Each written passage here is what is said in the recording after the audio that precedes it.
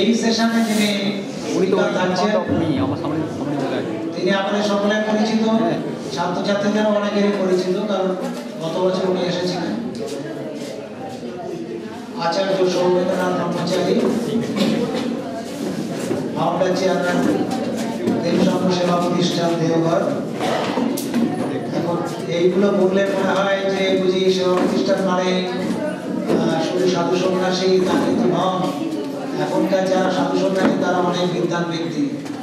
তাদের শিক্ষা দীক্ষা এবং তারপরে তারা এই জীবনে আসছেন।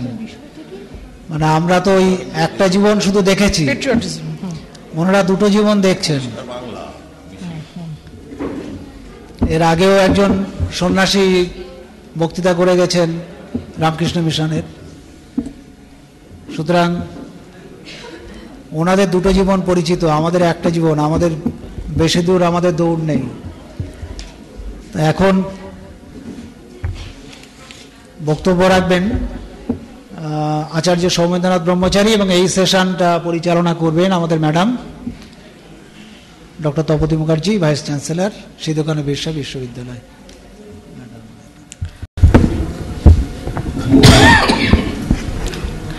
নমস্কার স্বামী বিবেকানন্দের জীবন, জীবনের বিভিন্ন দিক বা নানা বৈচিত্র্যময় ব্যক্তিত্ব স্বামী বিবেকানন্দ, এই বিষয়ে যে আলোচনা চক্র, তার দ্বিতীয় যে একাডেমিক সেশন বা সারস্বত পর্যায়, তাতে আমরা এসে পৌঁছেছি। আমাদের বক্তাও আমাদের সঙ্গেই রয়েছেন যিনি আলোচনা করবেন। যেহেতু ঘড়ির কাঁটা আমাদের অনেকটাই পেছনে ফেলে দিয়েছে এবং যেহেতু সূর্য প্রায় অস্তায়মান, সেজন্য আমি অনর্থক সময় নষ্ট না করে আমি মূল আলোচকের কাছে ফিরে যাচ্ছি। আজ এই পর্যায়ের আলোচক হচ্ছেন আচার্য সৌমেন্দ্রনাথ ব্রহ্মচারী মশাই, যিনি দেবসংঘ সেবা প্রতিষ্ঠানের প্রতিষ্ঠাতা সভাপতি ঝাড় দেওঘরের তার বিষয় হচ্ছে স্বামী বিবেকানন্দের দেশপ্রেম। আমরা আচার্য ব্রহ্মচারীর কাছ থেকে তার বক্তব্য শোনার জন্য সাগ্রহে অপেক্ষা করছি। আচার্য ব্রহ্মচারী।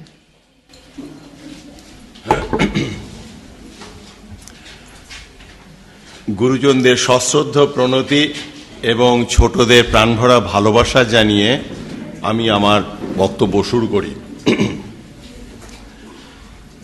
প্রথমেই বলে নি রুলস অফ দ্য গেম তোমাদের আশা করি যদি কারোর কাছে সেলফোন থাকে, তাহলে সেলফোনটা সাইলেন্ট মোডে রাখাই ভালো, অথবা বন্ধ করে দিলে আরও ভালো। যারা সেলফোন ঠিক প্রপারলি বন্ধ করতে বা সাইলেন্ট করতে জানো না, তাদেরকে আমি ইঞ্জিনিয়ার হিসেবে একটা টেকনিক বলতে পারি, হাতে নিয়ে যদি মাটিতে জোরে আছাড় মারো, চিরদিনের জন্য এটা বন্ধ হয়ে যাবে।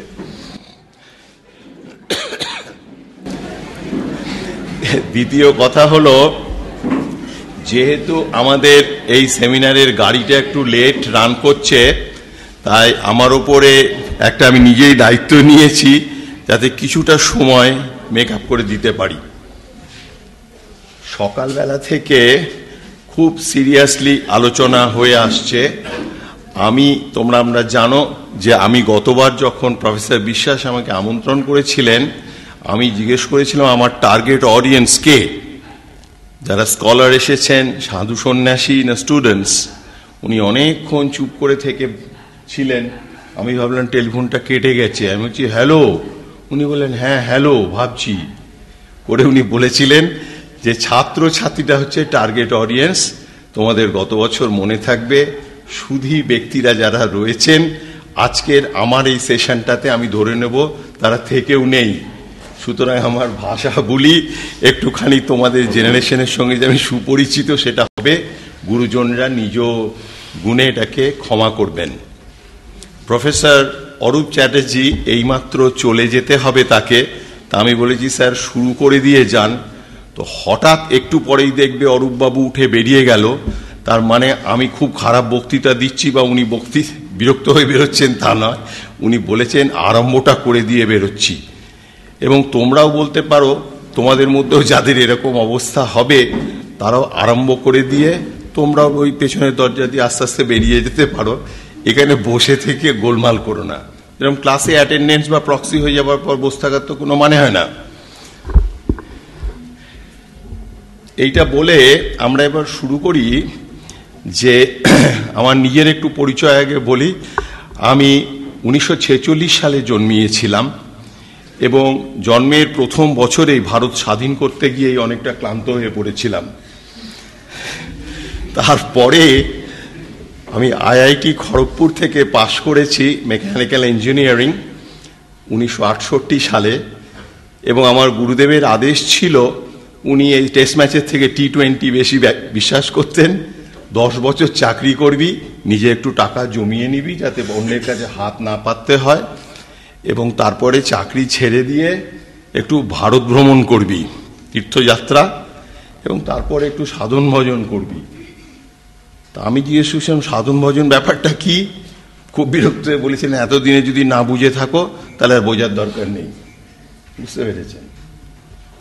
এই হচ্ছে মোটামুটি আমার ব্যক্তিগত পরিচিতি। তো তীর্থযাত্রাকালে আমি ভারতবর্ষের মূল মূল তীর্থ, আর সমুদ্র, হিমাচল মোটামুটি কিছুটা ঘুরেছি। ঘোরার পরে আমাকে একজন বললেন যে, গঙ্গাসাগর দেখনি? গঙ্গাসাগর তো একটা মহান তীর্থ পশ্চিম বাংলায়। গঙ্গাসাগর সম্বন্ধে অনেকদিন আগে আমি গঙ্গাসাগর হঠাৎ গিয়েছিলাম আমার এক কাকার সঙ্গে। গঙ্গাসাগর সম্বন্ধে একটা কথা আছে, তোমরা জানো, সব তীর্থ বারবার গঙ্গাসাগর একবার। গতবার যখন আমাকে আমন্ত্রণ করা হয়েছিল খাতরা কলেজে আমি শুনেই চমকি উঠেছিলাম। আমার ভূগোলের জ্ঞান খুব সীমিত। আমি বললাম স্যার জায়গাটার নাম খাতরা? তো হিন্দি শব্দটার অর্থ ভালো নয়। ওখানে গেলে ফেরত আসা যায় কি? বলেন হ্যাঁ সেটা আমাদের দায়িত্ব। আপনি যদি আসতে পারেন আমরা আপনাকে ফেরত পাঠাতে পারব। তো আমিও এইরকম অনেক সেমিনারে হয়তো যোগদান করার সুযোগ হয়েছে কিন্তু আমি ঘুরে গিয়ে আমারও মনে হয়েছিল সব ইউজিসি সেমিনার সব কলেজে বারবার খাতরা কলেজ একবার। এইবার যখন অরূপবাবু এই অরূপবাবু বলছি যখন আমাকে আবার স্বপনবাবু ডেকে পাঠালেন আমি বললাম, স্যার আমার তো কোটা কমপ্লিট হয়ে গেছে। এবার তো আমি প্রফেসর সঞ্জয় মুখার্জি আমার বন্ধুকে দিয়ে দিয়েছি। বলে না না ওকে সঙ্গে নিয়ে আপনাকে আসতে হবে। স্বামী বিবেকানন্দ সম্বন্ধে সার্ধশত বৎসর না, এটা বোধহয় আনন্দবাজারের টার্ম রবীন্দ্রনাথ নিয়ে শুরু হয়েছিল। এইটা বহু জায়গাতে আলোচনা হচ্ছে, কলকাতা শহরেও অনেক জায়গায় হচ্ছে। তাহলে হঠাৎ খাতরা কলেজেই বা আমরা এসে উদয় হলাম কেন? আজকে রাত তিনটে চল্লিশে উঠেছি, স্নান টান করে ঝিমোতে ঝিমোতে ট্রেনে এসেছি, এক পেট ভাত খেয়েছি। আশা করি তোমরাও খেয়েছ। সুতরাং তোমাদেরও একটা ঢুলুনি ঝিমুনি আসতেই পারে, আমারও আসতে পারে, যদি আমার আসে, আমাকে জাগিয়ে দিও, যদি তোমরা জেগে থাকো। খাতরা কলেজে কেন এসেছি? খাতরা কলেজে আসার একটাই উদ্দেশ্য, সেটা হচ্ছে যে সত্যি জায়গাটায় আসা বেশ কঠিন এবং এলে ফেরত যাওয়া আরও কঠিন। তথাপি আমরা কেন আসি? কারণ এখানে আসার পর এটাকে ঠিক এটা সামাজিক আতিথেয়তা বলে না। এটার মধ্যে যেমন একটা আন্তরিক ভালোবাসা, স্পর্শ পাওয়া যায়, আমাদের যে দিদি পরিবেশন করে খাওয়ান, সে যেন মনে হচ্ছে তোতা কাহিনী তোতাকে উনি পড়াচ্ছেন। বলে ঠুসে ঠুসে খাইয়ে টাইয়ে দেন। তো এই যে একটা প্রাণের পরশ এখানে সে পাওয়া যায়, এই যে একটা ভালোবাসার ছোঁয়া পাওয়া যায়, সেইটা কিন্তু শত অসুবিধা থাকতেও আমাদের এখানে আকর্ষণ করে। বিবেকানন্দের সেমিনারে এসে এইসব অবান্তর কথা বলার মানে কি? স্বামী বিবেকানন্দ যখন বিশ্ব জয় করে ফেরত এসেছেন, গুরু ভাইদের নিয়ে বসেছেন এবং সকলের সঙ্গে বেশ জপি আড্ডা পড়েছেন, এখানে এই করেছি, ওখানে ওই করেছি, করতে করতে উনি একবার বললেন যে একমাত্র প্রেমের শক্তিতে আমি বিশ্ব জয় করেছি। আমরা তো মনে করি তিনি জ্ঞানী মহাপুরুষ, কিন্তু তিনি নিজে মুখে বলেছেন যে একমাত্র প্রেমের শক্তিতে বিশ্বজয় করেছি। আজকেও আমরা খাতরাতে আসি কিন্তু এই প্রেম এবং ভালোবাসার আকর্ষণে। সকালেই আলোচনা হয়েছে যে তাঁর দৃষ্টিভঙ্গিতে শ্রীরামকৃষ্ণকে উনি সামারাইজ করেছেন এল ও ভিই অর্থাৎ তার গুরুকে, তার মূর্ত প্রেম রূপে তিনি দেখেছেন। এই হচ্ছে বিবেকানন্দের যে শতমুখী প্রতিভা, সেই প্রতিভার মধ্যে আমার মনে হয়েছে এই ভালোবাসাটাই আমরা বিবেকানন্দের গেরুয়া দেখি, তার হেয়ারস্টাইল দেখি, তার বাগ্মিতা দেখি, কিন্তু এই সমস্ত মোড়কগুলো যদি ছাড়িয়ে দেওয়া যায়, তার বুদ্ধির দীপ্তি দেখি, তার মেধা দেখি, কিন্তু এই সমস্ত গুণ পেঁয়াজের খোলসের মতো ছাড়িয়ে দিলে একটা জ্বলন্ত মানুষের হৃদয় যেটা ভালোবাসায় পরিপূর্ণ। আমার কাছে সেই বিবেকানন্দটাই নমস্য, সেটাই উপাস্য। এরপরে একটু বিবেকানন্দের ব্যক্তিগত জীবনটা আমি ছুঁয়ে যেতে চাইব, যেটা সম্বন্ধে তোমরা অনেকেই হয়তো সুপরিচিত। স্বামী বিবেকানন্দের পিতার নাম বিশ্বনাথ দত্ত, পেশায় অ্যাটর্নি, যেমন রোজগার যত্র আয়, তত্র ব্যয়, সঞ্চয় বিশেষ কিছু করতে পারেন না। মা ভুবনেশ্বরী দেবী। পর পর তাদের পাঁচটা মেয়ে হলো কিন্তু তারা আশা ছাড়লেন না।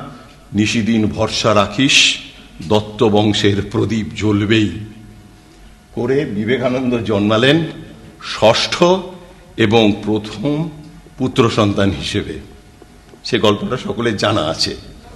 তো এই রকম যদি একটা কাপল যার পার পর পর পাঁচখানা মেয়ে হয়ে যাবার পর তারা তাও সচেষ্ট রয়েছেন। তাহলে তাদের বংশে যখন একটা ছেলে জন্মায়, তখন ন্যাচারালি একটা আনন্দ বা একটা তার একটা উৎসাহ এবং সেই ছেলেকে একটু বেশি বা- ভালোবাসা দেওয়াই হয়। তারপর পাঁচটা দিদি আছে, দিদি, মা এবং অন্যান্য সবাই মিলেমিশে ছেলেটা বড় করার সময় যে একটু আবদার, আহ্লাদ বেশি দেওয়াই হবে, এটা খুব স্বাভাবিক। এবং বাঙালির ছেলেকে বেশি আদর আবদার দিলে একটু তার বারোটা বেজে যেতেই পারে, এটাও আমার মনে হয় স্বাভাবিক। শিমলে পাড়ার ছেলে আস্তে আস্তে বড় হচ্ছে।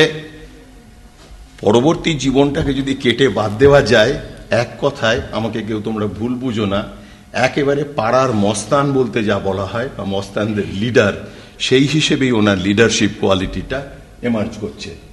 উনি ছেলেপিলে নিয়ে দঙ্গল করেন, খেলেন, ধুলেন, যা খুশি করে বেড়ান। নানান প্রবলেম সলভ করে বেড়ান। এই আমাদের পাড়ার আজকালকার ছেলেরাও অনেকে আছে, এটা সব করেন টরেন। তাই আমি প্রথমে বিবেকানন্দের প্রচুর গুণাবলীর কথা আলোচনা হয়েছে। তোমরা যারা জানো কিনা জানি না, জগন্নাথ যখন রথযাত্রা করে মাসির বাড়িতে যান, তখন প্রথম জগন্নাথের এক শ্রেণি আছেন পাণ্ডা। তারা তারা জগন্নাথকে নিজের আত্মীয় মনে করেন। আত্মীয় মনে করেন বলে তাদের প্রথম কাজ হচ্ছে জগন্নাথের তারা স্তবস্তুতি করেন না। কি করেন জানা আছে? অশ্লীল ভাষায় খিস্তি খেউর করেন। কেন করেন? এই জন্যে করেন যে তারা মনে করেন যে জগন্নাথকে খুব তো নিকট লোক, আত্মীয়। তো সুতরাং ওই গালাগালি, খিস্তি খেউর করে তাকে একটা অশুভ শক্তি থেকে প্রোটেকশন দেওয়া হয়। ঠিক আমাদের মায়েরা, ছোটদের, বাচ্চাদের যেমন সাজিয়ে গুছিয়ে বেশ চাঁদ মুখটাতে পট করে একটা কাজলের টিপ পরিয়ে দেন, মুখে কালি মাখিয়ে দেন, অথবা আমার মা মনে আছে বড় হবার পর আঙুলটা কামড়িয়ে দিতেন, যাত্রার সময় থুতু করে থুতু ফেলতেন না, ওরকম একটা করতেন, যাতে নজর না লাগে। আমি চিরকাল এরকম নিশ্চয়ই দেখতে ছিলাম না, হয়তো সেই সময় নজর লাগতেও পারত, কিন্তু বুঝতেই পারছ কারোরই নজর লাগেনি, তাই আমার এই পরিণতি হয়েছে। আমি অরূপবাবুকে জিজ্ঞেস করছিলাম, স্যার, আপনি কি জানেন যে এককালে হিন্দু বিবাহ প্রথাতে অনেক সময় বরযাত্রীর সঙ্গে এই নরসুন্দর বা নাপিত আসতেন? এই নাপিতরা এসে বর এবং সেই পরিমণ্ডলে প্রচণ্ড গালাগালি দিয়ে কবিতা আবৃত্তি করতেন, সে একেবারে অশ্রাব্য। তারও কিন্তু এটা জানি না, এই জেনারেশন হয়তো দেখনি। তারও উদ্দেশ্য ছিল যে এই অশ্লীলতার একটা প্রোটেকশন করে যাতে এই বিবাহ পন্থাটার মধ্যে কারোর কুদৃষ্টি বা কিছু না পড়ে। আমিও স্বামী বিবেকানন্দ আলোচনার বিষয়ে আপন বোধে আমি স্বামীজি সম্বন্ধেও সেই রকম একটা কতগুলো গালিগালাজ দেব সেটাকে তোমরা ভুল বুঝো না। ছ নম্বর ছেলে, বড় ছেলে স্কটিশ চার্চ কলেজ থেকে বিএ পাশ করলেন লতে ভর্তি হলেন প্রায় কোর্স কমপ্লিট করলেন, পরীক্ষা দিলেন না। একটা সিট নষ্ট করলেন। তারপরে প্রায় বোধহয় একুশ বছর বয়স এরকম সময় বাবা হঠাৎ মরে গেলেন।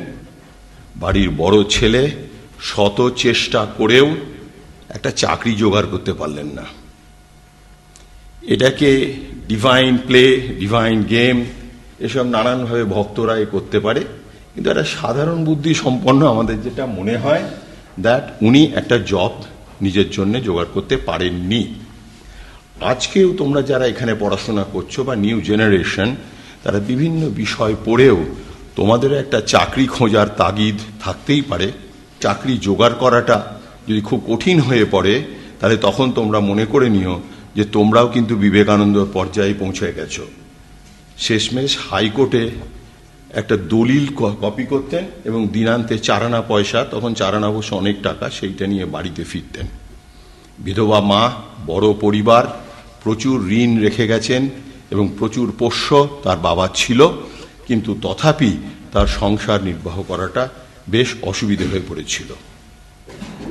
তার পার্সোনাল লাইফস্টাইল অ্যান্ড হ্যাবিট যারা তার নিজের ভাই মহেন্দ্র দত্তের বই পড়েছ, সেই বইতে দেখবে যে সিমলেপাড়ার ছেলে, তার কথাবার্তায় অশ্রাব্য গালাগালি উনি প্রায় দিতেন। এবং সেটা তার গুরু ভাই ব্রহ্মানন্দ মহারাজ, তিনি একটা পার্টিকুলার যোগের স্তরে গিয়ে আর ওপরে যেতে পারছেন না। তো তখন বিবেকানন্দ সেইখানে তাকে এমন অশ্রাব্য ভাষায় গালাগালি দিয়েছেন, সেটা রেকর্ডে আছে মহেন্দ্র দত্তের বইয়ে, যে কিছুক্ষণ পরে আর ওয়ার্ডে সেটা এক্সপ্রেস করা যায়নি। প্রকাশক সেখানে ডট ডট ডট দিয়েছেন। যারা নিজ গুণে বুঝে নেবেন, এরপরে কি বলেছেন। জেনারেলি যখন বিছানায় শুতেন, মুখ দিয়ে সবসময় লালা পড়ত। এবং সেই বিছানাটা সকালবেলা ওঠার পর ব্যবহারের অযোগ্য ছিল। এছাড়া যে কোনো কথা প্রসঙ্গে, সাধারণ কথা প্রসঙ্গে যথেষ্ট খিস্তি খেউর করতেন এবং এক গুরু ভাই একটু বেলা করে উঠতেন, তার চেলা তাকে পাঠাবার সময় তাকে বলেছেন, সেই গুরু ভাইয়ের পেছনটা একটু মোটা ছিল, তো তখন বলেছেন, এই, ওকে ডাকবি, যেই দরজা খুলবে, তখন খালি বলবি, মহারাজ, আপনার শরীরটা কেমন আছে? ঠিক একদম বলে দিয়েছেন, কীভাবে বলতে হবে। আর যেই বলেছে, সঙ্গে সঙ্গে বলছেন, হতভাগা, নরেন তোকে নিশ্চয়ই পাঠিয়েছে। তো সুতরাং, স্বামী বিবেকানন্দ তার বাগ্মিতা, তার মেধা, তার ভারত গড়া, এর তো আমাদের আছেই। আলোচনা হয়েছে, হয়তো আরও পণ্ডিত লোকেরা অনেক কথা বলবে। কিন্তু বিবেকানন্দের এই দিকগুলো একটু আমাদের জানা দরকার আছে এবং স্বামী শিষ্য সংবাদ, এই বইটা তোমরা যদি পড়ো, তাহলে বিবেকানন্দের এই যে সুন্দর মানসিকতা দিকগুলো, এগুলো কিন্তু ক্রমশ উদ্ভাসিত হয়ে উঠবে বলেই আমার মনে হয়। এরকম একটা ছেলে হঠাৎ গিয়ে একটা তোতলা বামুনের পাল্লায় গিয়ে পড়ল। তিনিও বোধহয় চ্যাটার্জি ছিলেন, স্যার, তাই না? সেই চাটুর্যে বামুনের কাছে পাঁচ ছ বছর থাকলেন। নাম ছিল গদাধর চ্যাটার্জি। পরে তিনি সন্ন্যাস নিয়ে, তার নাম হলো শ্রীরামকৃষ্ণ পুরী দর্শনামী সম্প্রদায়ের মধ্যে পুরী সম্প্রদায়ের লোক। এই ভদ্রলোক কি যে বললেন ভগবান জানে, যেদিন প্রথম, দ্বিতীয়বার দেখা হলো এবং প্রথম দেখা দক্ষিণেশ্বরে, দেখেই তিনি বললেন, আমি জানি তুমি নররূপী নারায়ণ, জীবের কল্যাণের জন্য এসেছ। ঠিক আছে? শ্রীরামকৃষ্ণ বলেছেন, আমি কারও ধর্মবিশ্বাস বা ভক্তিতে কোনো রকম আঘাত আনতে চাই না, কিন্তু একটা সাধারণ বর্তমান মানসিকতা থেকে আমি যদি এইটা বিশ্বাস করি বা এটাকে নিয়ে নিই, যে তিনি হচ্ছেন নররূপী নারায়ণ তিনি জীবের কল্যাণের জন্য অবতরণ করেছেন। আর আমি আর তুমি হচ্ছি নররূপী ভূত বা পঞ্চভূতের কোনো এক সময় হয়তো আমার মাতা পিতা একটু কামার্ত হয়ে বেসামাল হয়ে পড়েছিলেন এবং তারই ফসল রূপে তোমার আমার জন্ম। এই যদি আমাদের মানসিকতা হয় এবং এইখানে আমি তোমাদের কাছে খুব এই রকম একটা অডিয়েন্সে হয়তো বলা যায় ভুল বুঝবে না। যে আমাদের অবতারবাদের মধ্যে এইটা হচ্ছে সবচেয়ে বড় সমস্যা। যদি ধরে নিই ইন্ট্রেন্সিক্যালি অবতার হচ্ছে বাই বার্থ পারফেক্ট আর আমি as a human being with all my limitations আমি হচ্ছি ইমপারফেক্ট তাহলে বেসিক্যালি তিনি যদি হয় লায়ন আমি তাহলে হচ্ছি ল্যাম্ব তিনি যদি হন সিংহ, আমি তাহলে একটা মেষ শাবক। তাই যদি হয়, তাহলে মেষ শাবক হিসেবে আমি লায়নকে স্তুতি করতে পারি। কিন্তু আমি কোনোদিন লায়ন হয়ে ওঠার মতো স্বপ্নর কথা চিন্তা করতে পারি না এবং তাগিদ অনুভব করতে পারি না। সুতরাং বিবেকানন্দকে যদি ব্যক্তি পূজা করতে গিয়ে দেবতা রূপে আমরা দূরে সরিয়ে দিই, আমার মনে হয় অনেকাংশেই এই বিবেকানন্দ বিষয়ক আলোচনা এবং সাধনা আমাদের ব্যক্তিগত এবং সমাজ জীবনে সম্পূর্ণ ব্যর্থ হবে। তখনই বিবেকানন্দ বিষয়ে আলোচনা সার্থক হবে। যদি আমি মনে করি that here is a human being যে ডিভাইন ওই রকম কনসিয়াসনেসে উত্তরণ হয়েছে, আমার মধ্যে এখনও সেটা ফুটে ওঠেনি, কিন্তু সদ্গুরুর দ্বারা আদিষ্ট হয়ে আমি যদি চেষ্টা করি, তাহলে আমিও একদিন সেইখানে পৌঁছাতে পারব। এখানে আমরা বিবেকানন্দের কোটেশন নেব। বিবেকানন্দ নিজে একজন শিষ্যকে বলেছিলেন, তুই যদি পাঁচশো বার পরহিতে নিজের জীবন উৎসর্গ করিস তোরও মধ্যে বুদ্ধের মতো প্রেম উপজিত হবে। গৌতম বুদ্ধের মতো প্রেম। এই কন্টিনিউয়াম এই হিউম্যান থেকে ডিভাইন জার্নি এবং এইটাকে যদি আমরা অ্যাকসেপ্ট না করি, তাহলে বুঝে নিতে হবে আমরা যতই বেদান্ত বেদান্ত করি, আমরা কিন্তু রিয়েলি বেদান্তকে ফলো করছি না। তাই ব্যক্তি বিবেকানন্দর আলোচনা হবে as an embodiment of the divine perfection যিনি দেশের জন্য এতটা ভালোবাসা নিয়ে এত কথা বলে গেছেন, তার রেলিভেন্স বা প্রাসঙ্গিকতা আছে কিনা আমরা দেখব। কিন্তু আমাদের প্রত্যেকে বিশ্বাস করতে হবে, আমরা যারা এখানে হাজির আছি, যে তোমাদের, আমাদের সকলের মধ্যে সেই বিবেকানন্দ হয়ে ওঠার সম্ভাবনা এবং প্রতিভা আছে। যদি এইটুকু আমরা বিশ্বাস আজকে জন্মাতে পারি এই দুদিন ব্যাপী সেমিনারে I think the day is done Vivekananda জীবনের শেষ দিনে বেলুর মঠে সিঁড়ি দিয়ে আস্তে আস্তে নেমে আসছেন এবং নিজেই পায়ে স্বগতোক্তির মতো বলছেন যদি আর একটা বিবেকানন্দ থাকতো, তাহলে সে বুঝতে পারত, এই বিবেকানন্দ কি করে গেল। এখানে লক্ষণীয় যে উনি কিন্তু বলেননি, শ্রীরামকৃষ্ণ বেঁচে থাকলে বুঝতে পারতেন বিবেকানন্দ কি করে গেল। উনি এও বলেননি, সিস্টার নিবেদিতা হাড়ে হাড়ে বুঝেছেন বিবেকানন্দ কি করে গেল। কথাটা খুব মননশীলতার সঙ্গে অনুধ্যান করা দরকার, যে তিনি বলেছিলেন আর একটা বিবেকানন্দ থাকলে বুঝতে পারত এই বিবেকানন্দ কি করে গেল? এইটা ভারতীয় দর্শন, বিশেষ করে অদ্বৈত বেদান্তের একটা হোয়াট এ থেকে একটা প্রোডাক্ট তার মানেটা হচ্ছে যে আমাদের শাস্ত্রে বলেছে, ব্রহ্মবিদ ব্রহ্মৈব ভবতী। ব্রহ্মকে জেনে সে ব্রহ্মর স্বরূপ হয় এবং তার রিভার্স স্টেটমেন্টটা করা নেই যে সেটা হচ্ছে ব্রহ্মস্বরূপ হয়ে সে ব্রহ্মকে জানে। সুতরাং বিবেকানন্দ কি করে গেছেন এবং সেই করার তাৎপর্য কি সেটা জানতে গেলে আমাদের বিবেকানন্দই হতে হবে। নান্য পন্থা বিদ্যতে অয়নায় অন্য কোনো রাস্তা নেই। এবং বিশ্বাস করতে হবে যে আমাদের পক্ষে বিবেকানন্দের মতো হয়ে ওঠা সম্ভব। ঠিক আছে? সত্যি কথা বলতে আপত্তি নেই। বর্তমান চেতনায় দাঁড়িয়ে স্বামী বিবেকানন্দ কি রকম ছিলেন আমি জানি না। এবং যারা বিবেকানন্দ সম্বন্ধে লিখেছেন বা দেখেছেন বা বলেছেন, আমার ধারণা তারাও জানেন না। তার কারণ, তারা যদি বিবেকানন্দ না হয়ে উঠতে পারেন, তাহলে বিবেকানন্দের সম্যক অনুধাবন করতে পারেননি। তাও আমরা কেন আলোচনা করব? যে বিবেকানন্দের কথা আজকে আমরা বলতে চলেছি, সেই Vivekananda original objective reality of Vivekananda কিনা আমি জানি না। তিনি আমার মনের মানুষ। আমার মনের মাধুরী দিয়ে আমি সেই বিবেকানন্দকে সৃষ্টি করেছি। সেরকম অন্যান্য বক্তা বা তোমাদের হৃদয়েও একটি একটি করে বিবেকানন্দ আছেন, যেটা একেবারেই নিজস্ব এবং আপন।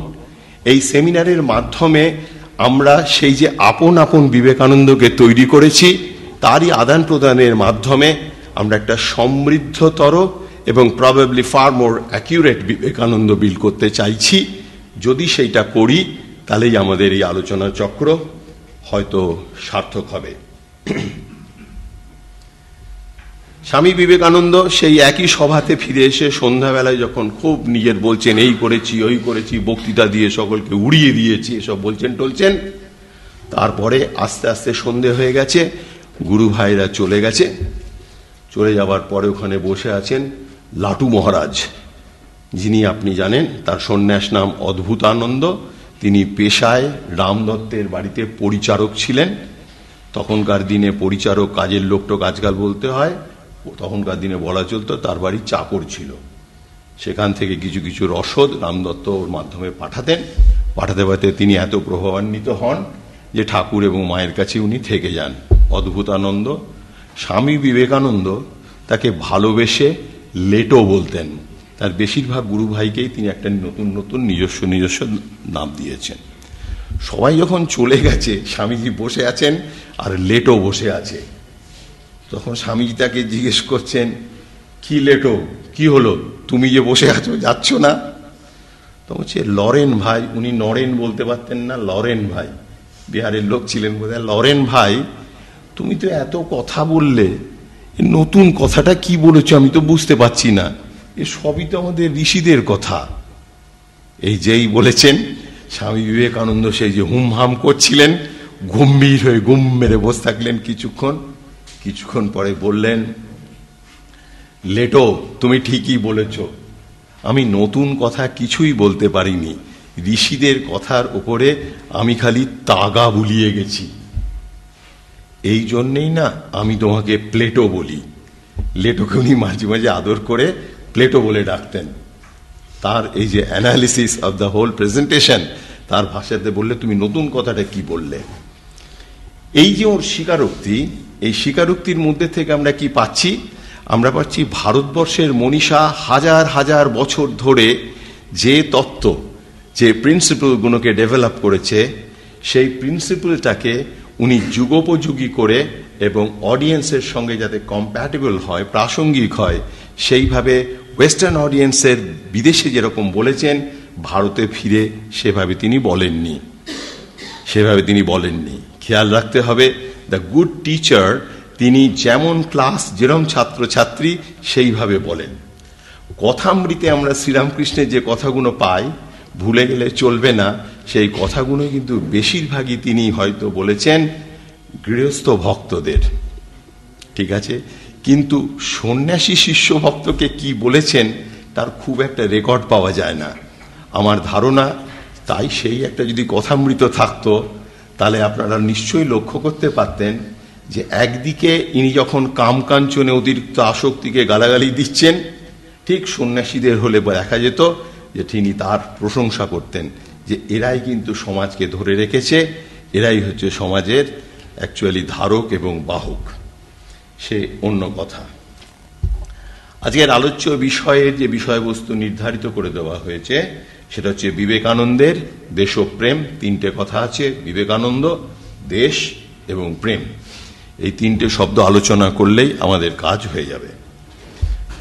যেটা আমরা আলোচনা করতে চাই, যে সেটা হচ্ছে বিবেকানন্দকে যদি আমরা একটা ব্যক্তি বলে মনে করি, তাহলে রবীন্দ্রনাথ ঠাকুরের দু বছর পরে দ্যাট ইজ এইটিন সিক্সটি থ্রিতে তাঁর জন্ম হল এবং চল্লিশ বছর পূর্ণ হবার আগেই তিনি উনিশশো দুই সালে গত হলেন। অর্থাৎ আজকের দিনে স্বামী বিবেকানন্দের মৃত্যু একশো দশ বছর হয়ে গেছে। আমরা ভগবত গীতার একাদশ অধ্যায় পড়েছি, কাল কাউকে ছেড়ে দেয় না, কাল অস্মি লোক ক্ষয়কৃত প্রবৃদ্ধ কাল সমস্ত জিনিসকে কিন্তু আস্তে আস্তে ধ্বংস করে দেয়। তাহলে এই যে বিবেকানন্দ, ব্যক্তি বিবেকানন্দ, চল্লিশ বছর পরমায়ু এবং একটা দেশ এবং কালের মধ্যে যদি তিনি সীমিত এবং তার জীবনের চর্চা যতই আলোচনা করি আর যতই মুখরোচকভাবে পাবলিকের কাছে উপস্থাপনা করি, আমার ধারণা যে বর্তমান যে জেনারেশন তাদের কাছে এটা খুব একটা প্রাসঙ্গিক বা ইন্সপায়ারিং হয়তো নাও হতে পারে।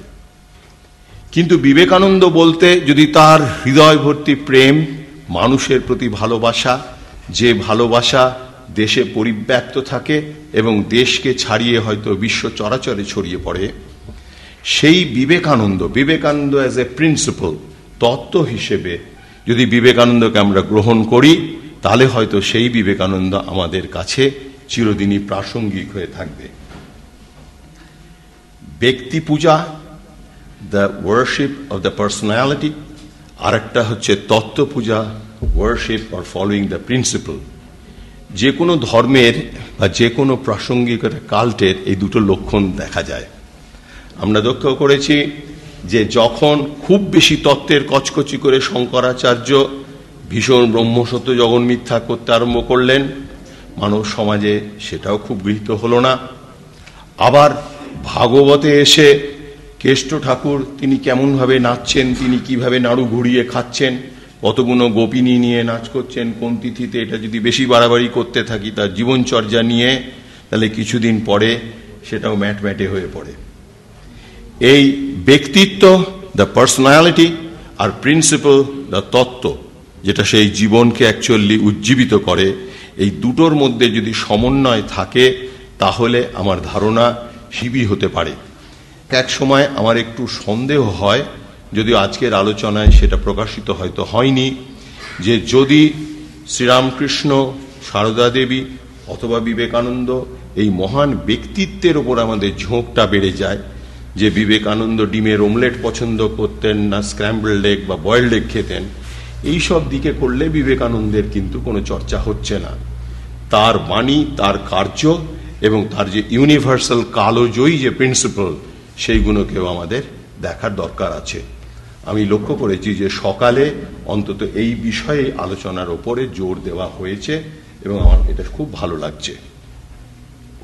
বিবেকানন্দের দেশপ্রেমের মধ্যে আমরা দ্বিতীয় পর্যায়ে আসছি, দেশ। দেশ বলতে সকালেই আলোচনা হয়েছে, একটা ভৌগোলিক সীমাকে বোঝায় না। শ্রী অরবিন্দ বলেছিলেন একটা ভৌগোলিক সীমাবদ্ধ ভূখণ্ড এবং তাতে কতগুলো মানুষ, গাছপালা ইত্যাদি, এর সংযোজনকে দেশ বলে না। দেশ বলতে শ্রী অরবিন্দ বলেছিলেন, আমি দেশ বলতে বুঝি আমার মা। এই মা কথাটার উপরে একটুখানি জোর দেবার অবকাশ আছে। সেটা হচ্ছে যে, আজকের দিনে আমার মা, গর্ভধারিণী জননী, তিনি যেমনই থাক, তার বিদ্যা, শিক্ষা, দেখতে, শুনতে তিনি যেমনই হোক আমি হয়তো অনেক কিছু পাল্টাতে পারি, বউ পাল্টাতে পারি, স্বামী পাল্টাতে পারি, দেশ পাল্টাতে পারি জামা কাপড় পাল্টাতে পারি, হয়তো একটু চেষ্টা করলে বাবাও পাল্টাতে পারি। কিন্তু মা পাল্টানো যায় না। ঠিক আছে? তাই আমি যে দ্য মাই বায়োলজিক্যাল মাদার আমার জন্মের হচ্ছে প্রি কন্ডিশন তাকে পাল্টানো যাবে না। এবং যে দেশে আমি জন্মেছি আমার এই জন্মভূমি তাকে মা রূপে দেখায়, এইটাও পাল্টানো যাবে না। আমার বন্ধু বান্ধব আইটি থেকে এখন অনেকে আমেরিকান সিটিজেন্স হয়ে গেছেন, নাগরিকত্ব পাল্টানো যায়, কিন্তু জন্মভূমি, মাতৃভূমি হিসেবে তাকে কখনো পাল্টানো সম্ভব নয়। মা শব্দের আর একটা ব্যাখ্যা আছে, যে ব্রহ্মশ্রী সত্যদেব, আমাদের পরম গুরু তিনি বলেছিলেন, এই আত্মা আত্মা কথাটার একটা অংশ উচ্চারণ করলেই এটা আত্মার প্রতিপাদ্য হয়। আত্মার প্রতিপাদ্য মানেটা কি? মা হচ্ছে এমন বা আত্মা হচ্ছে এমন যিনি অততি ব্যাপনতি চ। যতটা স্পেস কনসিয়াসনেস সেইটাকে ঘিরে নেয় এবং তারপরে সেই সীমা থেকে উপচিয়ে কন্টিনিউয়াসলি বড় হতে চেষ্টা করে। এই জন্যে আমাদের উপনিষদে যে বেদান্তে যে আদেশ আছে সেখানে প্রথম যখন পড়াশোনার পর চলে যাচ্ছেন অন্তেবাসী, তখন গুরু তার সামারি তাকে যে উপদেশ দিচ্ছেন, তার প্রথম উপদেশ হচ্ছে, মাতৃদেব ভব।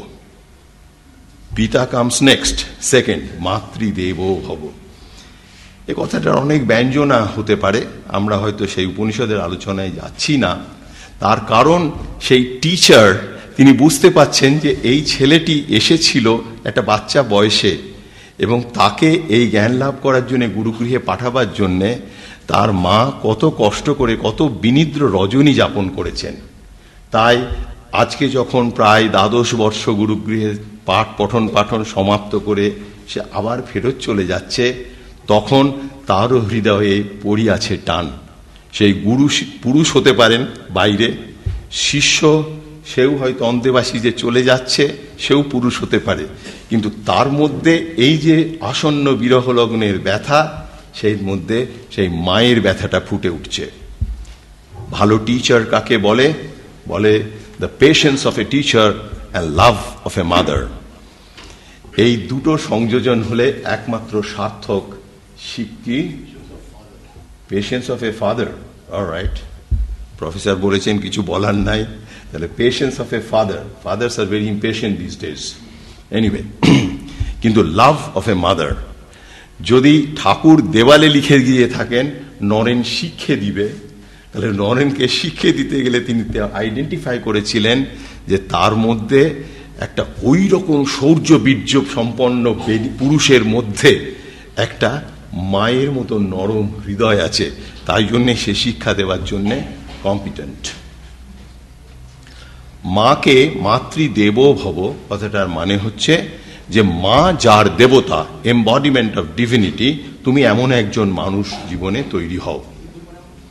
এখন, এই দেবতা বা ব্রহ্মের ডেফিনিশন দিতে গিয়ে আমাদের শাস্ত্র বলেছেন, এখানে একটু দু একটা মন্ত্রতন্ত্র না বললে আবার লোকে মনে করবে যে শাস্ত্র থেকে আমরা বিচ্যুত হয়েছি। সেখানে ভৃগুবল্লী অধ্যায়ে দেখা যাচ্ছে ভৃগু তার বাবা বরুণকে গিয়ে জিজ্ঞেস করছে যে আমাকে একটু একটা কম আসছে। ও, কি আরও জোরে চিৎকার করব না? এবার মাইক তোমাদের পৌঁছচ্ছে। পৌঁছচ্ছে? হ্যাঁ আর জোরে চিৎকার করলে ঘুমোতে পারবে না। আচ্ছা যাই হোক। সেখানে মাকে ধরে নেওয়া হয়েছে embodiment of the supreme divinity কেন ধরা হয়েছে? সুপ্রিম ডিভিনিটির ডেফিনিশন দিতে গিয়ে ভৃগুর বাবা বরুণ, সে বলছে যে দেখো, ব্রহ্মের তার কি বলব, তাকে তো দেখা শোনা যাচ্ছে না। যত বা ইমানি ভূতানি জায়ন্তে এই সৃষ্টি যেখান থেকে এসেছে, ইয়েন জাতানি জীবন্তী, যাহার দ্বারা এই সৃষ্টিটা সাস্টেন্ড আছে। এবং ইয়ং প্রয়ন্তি অভিসং বিসন্তি এর শেষে যার মধ্যে গিয়ে এটা মিশে যায়, তদ ব্রহ্ম, তদ বিজিজ্ঞাসস্য। সেটাই ব্রহ্ম। বেদান্তে ব্যাসদেব এটাকে একটু সামারাইজ করে একটা সূত্রে বলে দিলেন জন্মাদ্যস্য যত, জন্ম আদি, অর্থাৎ জন্ম, সেটাই আবার তন্ত্রে গিয়ে আমরা চণ্ডীতে পাই, সৃষ্টি, স্থিতি, বিনাশানাং, শক্তিভূতে সনাতনী। ঠিক আছে? এইটা যেখান থেকে হচ্ছে সেই সনাতনী শক্তি বা যেখান থেকে হয়, তাহাই ব্রহ্মের প্রতীক।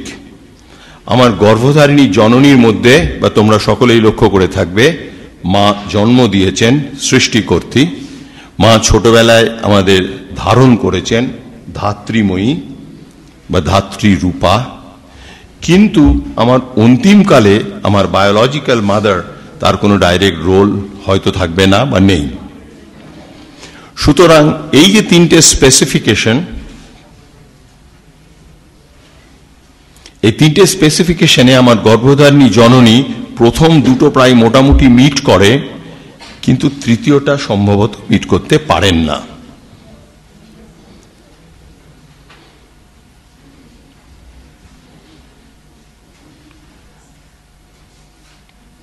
হয়েছে? ঠিক আছে। আমাদের পরমগুরুর কথায় আবার ফেরত চলে আসি। ব্রহ্মর্ষি সত্যদেব বলছেন যে, আমাদের যে দেশ ও মাতৃকা, এই দেশ ও মাতৃকা এই ব্রহ্মস্বরূপে প্রতীকের সঙ্গে কিরম সুন্দর মেলে, সেইটা একটু লক্ষ্য করে তিনি মন্ত্র রচনা করেছিলেন। যদ্বক্ষসে যার বুকে আমাদের সকলের জন্ম। যদঙ্কে নিত্য সংস্থিতা যার কোলে আমরা নিত্য জীবিত আছি, পুনর্যত্র লয়ং যেখানে আমি আবার মৃত্যুর পর গিয়ে মিশে যাই। তং দেশং প্রণমাম্যহম এই যে দেশমাতৃকা, এইখানে জন্মেছি এই দেশে, আমি যেন এই দেশেই মরি। ঠিক আছে? এবং অবভিয়াসলি যদি জন্ম আর মৃত্যু হয়, তাহলে স্থিতি এইখানে। সুতরাং ব্রহ্মের প্রতীক রূপে, সার্থক প্রতীক রূপে এই দেশ ও মাতৃকা আমার মনে হয় মূর্তিময়ী রূপে সব থেকে বেশি প্রকট। দুর্গা, কালী বা অন্যান্য মূর্তি যা আছে ঠিকই আছে, কিন্তু দেশ ও মাতৃকাই হচ্ছে জীবন্ত ব্রহ্মের প্রতীক বা আমাদের পরম দেবতার মূর্ত বহিঃপ্রকাশ। এই দেশমাতৃকার পূজার প্রথা উনি প্রচার করতে চেয়েছিলেন, এটা দেশাত্মবোধ ও শ্রী দেশমাতৃকা পূজার কথা বলে। আমার মনে হয়েছে যে স্বামী বিবেকানন্দের মধ্যে এই যে দেশপ্রেম, এই দেশের মধ্যে তিনি সেই তার পরম উপাস্য, সেই ব্রহ্মের প্রতিপাদ্য কি বলে, বেদান্তের প্রতিপাদ্য ব্রহ্মকে মূর্ত রূপে দেখতেন। এইবার আমরা সর্বশেষ কথার মধ্যে চলে আসছি। প্রেম। প্রেম কথাটা আমরা খুব লুজলি ব্যবহার করি বা ভালোবাসা, আমাদের সংসারে কিছুটা ভালোবাসা আছেন, তাকে অনেকেই বলে যে এটা নাকি একটা ভীষণ আসক্তি এবং খুবই এটা বর্জনীয় বস্তু। আমরা যেভাবে আদিষ্ট হয়েছি ব্রহ্মপোষণায়, তাতে কখনোই এটাকে খারাপ জিনিস বলা হয়নি যে আমি যদি আমার মাকে ভালো না বাসি আমি যদি আমার ভাইকে না ভালোবাসি, তাহলে আমি আমার দেশবাসীকে পাড়া প্রতিবেশীকে কি করে ভালোবাসবো? তাই না? এটা হতে পারে আমার কাঁচা আমির ম্যানিফেস্টেশন কিন্তু কাঁচা আমিটাকে যদি গালাগালি দিই, বা কাঁচা আমটা খুব টক বলে যদি গালাগালি দিয়ে ছিঁড়ে উপড়িয়ে ফেলে দিই, তাহলে কিন্তু আমার কপালে পাকা আম জুটবে না। এই যে কাঁচা আমি এই কাঁচা আমি সাধনের দ্বারা আস্তে আস্তে সেইটাই পাকা আমি রূপে ফুটে ওঠে। এইটা কিন্তু আমাদের সব সময় খেয়াল রাখতে হবে যে চেতনার এই বিকাশটা হচ্ছে একটা কন্টিনিউয়াস প্রসেস এই প্রেমের মধ্যে সাধারণত আমরা মাকে ভালোবাসি, বাবাকে ভালোবাসি, বউকে বা স্বামীকে ভালোবাসি, বাচ্চাকে ভালোবাসি, সেই ভালোবাসার মধ্যে একটা বিভেদ থাকে। আমি একটা সত্তা এবং আমার স্ত্রী, পুত্র, কন্যা, আমার বাড়ি, ঘর, সেটা একটা আলাদা সত্তা। এবং এর থেকে এই পৃথকত্বের জন্য একটা স্বার্থপরতার সৃষ্টি হয়। স্বার্থপরতার সৃষ্টি হয়। বড় বড় মহাপুরুষেরা সকলে বলছেন যে এই স্বার্থপরতা বা সেলফিশনেসটা ত্যাগ করা খুব দরকার। কিন্তু আমার এইটুকু জীবনে যেটুকু গোটা পৃথিবী ঘুরে অভিজ্ঞতা হয়েছে, আমার মনে হয়েছে পৃথিবীর সর্বকালের সর্বমানুষ চিরকাল স্বার্থপর। এবং এই স্বার্থপরতাকে বিসর্জন দিতে যত বড় মহাপুরুষই কোনো বক্তব্য রেখে থাকুন, তারা অ্যান্টি হিউম্যান নেচার নেচার একটা অ্যাডভাইস দিচ্ছেন। এটা সম্ভব নয়, এটা করাও এসব করা সম্ভবই নয়। উপনিষদের ঋষি তাই জন্যে কখনো এই স্বার্থপরতা বা সেলফিশনেসকে কখনো ত্যাগ করতে বলেননি। তার বদলে কি বলেছেন? যে সেলফিশনেস এখন কেবলমাত্র আমার এই স্থূল দেহের মধ্যে আবদ্ধ আছে, এইটুকুকেই আমি আমি আমি মনে করি। এই আমিটাকে আমার স্ত্রী, পুত্র, বাড়ি, ঘর, পাড়া, প্রতিবেশী, দেশবাসী এবং বিশ্ব চরাচরে ছড়িয়ে দেওয়া। এইরকম ভাবে যদি আমরা ছড়িয়ে দিতে পারি, তাহলে তখনও কিন্তু আমরা স্বামী বিবেকানন্দের মতো বলতে পারব, শুধু বহে, আমি আমি ধারা। এটাকে মহর্ষি পতঞ্জলি বলেছেন অস্মিতানুগত সম্পর্কাত যোগ। The self expansion is life সুতরাং আমার এই এক্সপ্যানশনটা অফ দ্য কনসিয়াসনেস আমার ফিজিক্যাল বডি নয় যে আমার আস্তে আস্তে ভুঁড়িটা ক্রমশ বেড়েই চলেছে, সেই এক্সপ্যানশন নয়। আমার চেতনার যত বিস্ফোরণ হবে, তত আমি আস্তে আস্তে মহৎ থেকে মহত্তর জায়গায় পৌঁছে যাব। স্বামী বিবেকানন্দকে প্রায়শই বলা হতো, তিনি ভারত আত্মা বিবেকানন্দ। অর্থাৎ তার আত্মচেতনা সেলফ আইডেন্টিফিকেশন বেশিরভাগ সময় গোটা ভারতবর্ষকে এনগালফ তার মধ্যে বিস্তৃত হয়ে থাকত। আমার আত্মচেতনা খালি এই সাড়ে তিন হাত রক্ত মাংসের শরীরের মধ্যে আবদ্ধ থাকে। এইবার আমি যদি একটা তোমাদের প্রশ্ন করি, কে বেশি সেলফিশ আমি না বিবেকানন্দ? বিবেকানন্দ, এটা এই হলেই আলোচিত থাক, বাইরে বলো না, আমারও বদনাম হবে, তুমিও মার খাবে। সুতরাং স্পিরিচুয়াল প্রোগ্রেসের রিয়েল মেশা যেটা আমি জীবনে অল্প বিস্তর একটু সাধন ভজন করে বুঝেছি যার এই আত্মচেতনা যত বেশি বিস্তৃত স্পিরিচুয়ালি সে তত সে তত মহান, সে সেটা আধ্যাত্মিক জগতে সে তত বড় পুরুষ। তাই স্বামী বিবেকানন্দের প্রেম আমার পায়ে যদি হঠাৎ একটা চলতে গিয়ে আঘাত লাগে এবং আমি চট করে একটা বলি, এই ওষুধ কোথায়? ব্যথা লাগছে, একটা ব্যবস্থা করো, ডাক্তার ডাকো। এই যে আমার তাগিদ, আমাকে কি তোমরা খুব একটা সমাজসেবী বা খুব একটা পরোপকারী জীব বলে মনে করবে? না স্বার্থপর জীব বলে মনে করবে? একটু পায়ে চোট লেগেছে, এত আহু করছে কেন? নিশ্চয়ই সমাজসেবী বলবে না তো, আমি তো পরহিতায় প্রাণ দিতেছি না। তাই স্বামী বিবেকানন্দের মতো লোকের they never serve others they only serve their extended self তার নিজের আত্মচেতনা যখন বড় হতে হতে বড় হয়ে যায়, তখন দেশের সঙ্গে একাত্ম হয়ে যায়।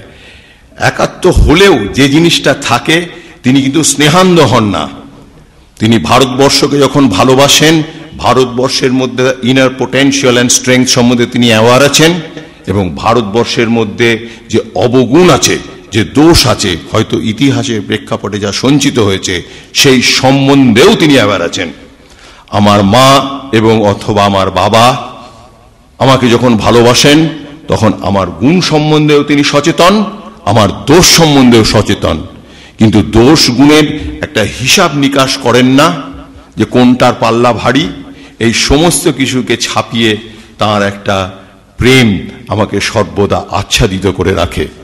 স্বামী বিবেকানন্দর প্রেম হচ্ছে সেই আত্মপ্রেম যেটা একমাত্র সাধনার দ্বারা লাভ করা যায় এবং যেটা করা যে কোনো ব্যক্তির পক্ষে, বিশেষ করে ভারতীয়র পক্ষে সর্বদা সম্ভব। স্বামী বিবেকানন্দ একবার বলেছিলেন, আমার একটাই মাত্র দোষ, আমি দেশকে বড় ভালোবাসি। এই কথাটাকে একেবারে সহজভাবে গ্রহণ করা যাক। খুঁজে পাওয়া গেছে ফোনটাকে। কি হলো, মিস কল হলো না কেটে দিলে? কি করলেন স্যার? কি স্ত্রী ফোন করলে দেখুন।